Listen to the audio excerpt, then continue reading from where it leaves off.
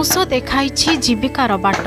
ଏଭଳି କାମକୁ କୌଳିକ ବୃତ୍ତି ଭାବେ ଗ୍ରହଣ କରିଛନ୍ତି ବାଲେଶ୍ୱର ଜିଲ୍ଲା ବାଲିଆପାଳ ବ୍ଲକ ବାଲିକୁଟି ଗାଁର ବାସିନ୍ଦା। ପଡ଼ୋଶୀ ମୟୂରଭଞ୍ଜ ଜିଲ୍ଲାରୁ ସେମାନେ ବାଉଁଶ କିଣି ଆଣି ତାକୁ ଚିରି ତିଆରି କରନ୍ତି ଚିକ। ଏହା ପାନ ବରଜରେ ବ୍ୟବହାର ହେଉଥିବାରୁ ସ୍ଥାନୀୟ ଅଞ୍ଚଳରେ ରହିଛି ଚାହିଦା। ମୟୂରଭଞ୍ଜରୁ ଗାଡ଼ିଏ ବାଉଁଶ ପାଇଁ ସେମାନଙ୍କୁ ଦେବାକୁ ହୁଏ ଚଉଦରୁ ପନ୍ଦର ହଜାର ଟଙ୍କା।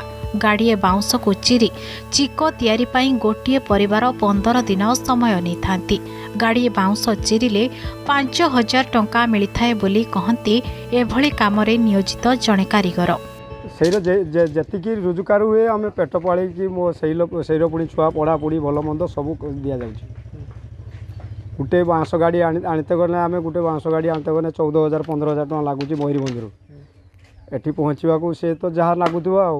ତେଣୁକରି ଏବେ ତ ରେଟ୍ ନାହିଁ ସେଇ ରେଟ୍ ରେଟ୍ କମ୍ର ଏବେ ଦିଆହେଉଛି ସେମିତି ଦିଆହେଉଛି ଶହେ କୋଡ଼ିଏ ଶହେ ପନ୍ଦର ଶହେ ଦଶ ପଞ୍ଚାନବେ ଅଶୀ ଯେତେବେଳେ ଯିଏ ରେଟ୍ ଯେତେବେଳେ ଯିଏ ରେଟ୍ର ହିଁ ଦିଆହେଉଛି। ତା ଲା- ତା ଲାଭଟା ଏଇ ହୁଏ କେତେ ପାଞ୍ଚ ହଜାର ଛଅ ହଜାର ଏମିତି ହୁଏ।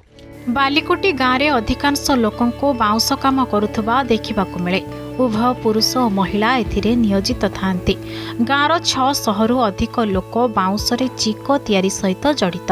କଞ୍ଚା ବାଉଁଶକୁ କିଣି ଆଣିବା ତାକୁ ହାତ କରତରେ କାଟିବା ଓ ଏହାକୁ ଚିରି ବିଡ଼ା ବାନ୍ଧି ବିକ୍ରି ପାଇଁ ପ୍ରସ୍ତୁତ ରଖିବା ଏହି ଗାଁର ଦୈନନ୍ଦିନ ଦୃଶ୍ୟ।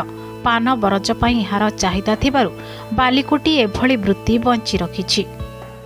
ଏ ଚିରି ଚିକ ଚିରିକିରି ଆମେ ସେଇ ବର୍ଜକୁ ବର୍ଜବାଲାମାନେ ନିଅନ୍ତି। ଆପଣ ଡେଲି ସବୁଦିନ ଏ କାମ କରନ୍ତି? ହଁ ଡେଲି ଆମର ଏଇ କାମ ଏଇ କାମ ଆମର ସବୁଦିନ। ଆଚ୍ଛା ଏ ଯେ କେ- କାଟିଲା ପରେ ଏଇଟା କୋଉଠି ବିକ୍ରି କରିବା ପାଇଁ ଯାଏ ସବୁ? ଏଇଟା ସେଇ ଉଁ, ହାଟକୁ ଯାଏ। ହାଟକୁ ଯାଏ। ହାଟର ବିକ୍ରି ହେଇକି ପାନ ବର୍ଜର ନାଗେ ତାଙ୍କର। ଠିକ ଉପଯୁକ୍ତ ମୂଲ୍ୟ ଦର ପାଆନ୍ତି। ହଁ ସେ ପାଇ ଅଳ୍ପ କମ୍ ବେଶୀ ପାଇ ଏରକ କରି ଚଳୁଛେ ଘରଟାକୁ ଆମେ ଆଉ କିସ କରିବା। ଆମେ ତ କାମ ତ କରୁଛୁ ଏମିତିକା ଯାହାକି ୟାର ତ ଉଚିତ ମୂଲ୍ୟ ମିଳୁନି। ତଥାପି ଆମେ ମୟୂରଭଞ୍ଜରୁ ବେଙ୍ଗଲରୁ ସବୁ ଏ ବାଉଁଶ ଆଣୁଛୁ ଏବଂ କାମ ଚାଲିଛି। ତାପରେ ଆମ ଉଁ, ଚାହୁଁ ଯଦି ସରକାର କିଛି ସାହାଯ୍ୟ ସମତି ମିଳନ୍ତା ନା ଟିକେ ଭଲ ହୁଅନ୍ତା। ବାହାରକୁ ଯାଉଛୁ ସେଠି କଣ୍ଟ୍ରାକ୍ଟର ପଇସା ନେଉଛି ତ ଆମକୁ ପଇସା ମିଳୁନି। ତ ପଇସା ଯଦି ନ ମିଳୁଛି ତ ଆମେ ସେଠୁ ପଳେଇ ଆସିକି ସୁଦର ଫୁଦର ପଇସା ଆଣିକି ବାଉଁଶ ବେପାର କରୁଛୁ। ଗଛକୁ ଛୋଟ ଓ ଘାସକୁ ମୋଟ କୁହାଯାଉଥିବା ବାଉଁଶ ଶହ ଶହ ବର୍ଷ ଧରି ଲୋକଙ୍କ ସାମାଜିକ ସାଂସ୍କୃତିକ ଓ ଆର୍ଥିକ ଜୀବନରେ ବଡ଼ ଏକ ଅବଦାନ ଦେଇ ଆସିଛି ବାଲିଆପାଳରୁ ଆଶିଷ କୁମାର ସାହୁଙ୍କ ରିପୋର୍ଟ ଅର୍ଗସ୍ ନ୍ୟୁଜ୍।